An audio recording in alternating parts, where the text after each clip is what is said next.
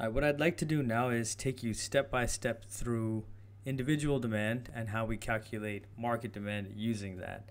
I'm going to give you a very simple explanation and very simple example for this using two people, Mark and Lisa, and their demand for widgets. So very simply, I'm going to first look at the demand schedule for Mark. I'm going to give a price of $5 all the way down to $1 for Mark and see that at each price, Mark's demand will change. So at $5, Mark demands a quantity of two widgets. Right, a widget is just a generic term made up for some random economic piece of output. So it's nothing in particular. So at $5, he's willing to buy two. At $4, he's willing to buy four. $3, he's willing to buy six. $2, he's willing to buy eight. And $1, he's willing to buy 10.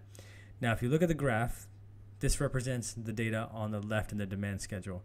So again, on my y-axis, I have price. On my x-axis, I have quantity. And you'll see the data matches up. At a price of $5, you'll see that Mark buys a quantity of two widgets. At a price of $3, you'll see that Mark buys a quantity of six.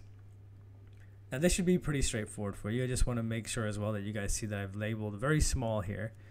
But uh, let me make that a little bit bigger for you so you can see it. That there's a D. So this should always be labeled clearly so you can see it. And the key thing here is not just the y and the x axis label, but also the demand curve label.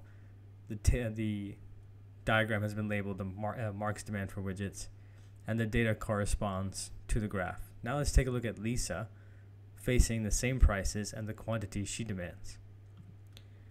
So you'll see I've changed over now to the workbook for Lisa, or the sheet for Lisa, and you'll see at a price of $5, she will buy a quantity of one widget or one, she is willing to buy one widget. At four dollars, she's willing to buy two.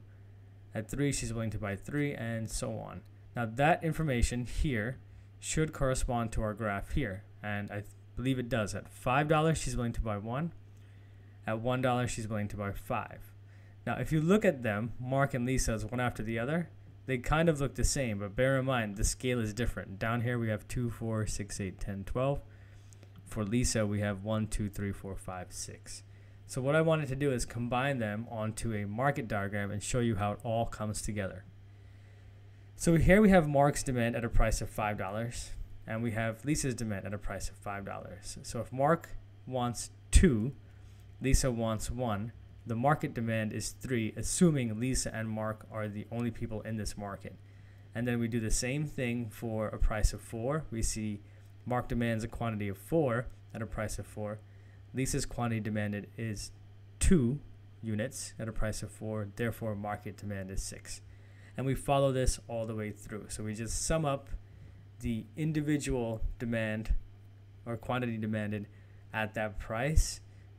We add them all up and we get our market demand. Now, when I plot them all together on the same graph, it looks a little bit strange, but let me walk you through what's happened here. This is Lisa's graph here. At a price of 1, which we can't see because it's missing the label, Lisa is willing to buy 5. At a price of 2, Lisa is willing to buy 4.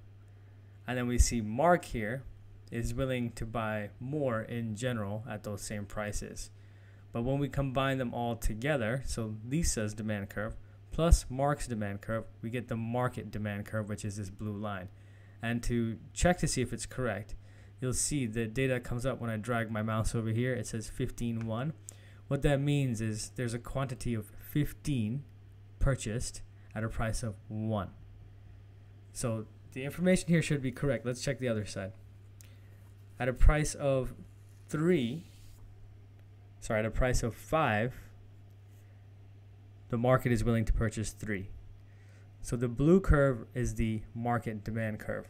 Again, the main thing to draw your attention to here is to understand first how these two schedules combine to make the market demand curve, and then again, using this data to plot on the graph below. If you understand that, you are very clear on what you need to know about individual and market demand curves.